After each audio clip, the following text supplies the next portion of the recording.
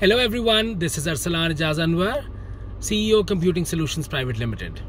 Don't forget to join me at Pakistan's di- largest digital tech conference, the Global Digital Summit, hosted by the CXO Global Forum, happening from the 8th till the 12th of November 2021.